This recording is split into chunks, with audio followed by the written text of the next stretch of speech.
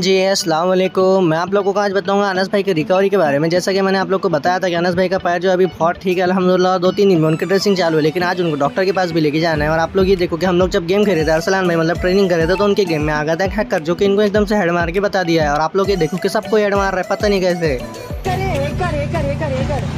ये बंदे की हैकिंग देख के तो हमारा दिमाग उल्टा खराब हो गया तो शाम के टाइम पे अफ्तारी करने के बाद हम लोग अयान भाई को मिलके उन्होंने हमको कर दिया। बाय, और हम लोग जा रहे चौक पे अरसलान के साथ कुछ सामान लाने के लिए। मेडिकल में चले गए थे वहाँ पे क्योंकि हमें नाना अब्बू की गोली लाना था। अरसलान भाई के साथ गोली वगैरह लेके सोहेल भाई के साथ होते हुए हम लोग जा रहे हैं पानी लाने के लिए। जिससे कि आप लोग को पता है, हर अफ्तारी के बाद हम पानी लाने आना पड़ता है। आपको बोला था कि अनस भाई को ड्रेसिंग के लिए डॉक्टर के पास ले जाना तो कार में बैठा के उनको लेके आ रहे ड्रेसिंग के और आप लोग ये देखो कि ड्रेसिंग चेंज कराने के बाद पीछे से वीडियो बन नहीं रहे तो अनस भाई ने खुद ने सामने से वीडियो बना ली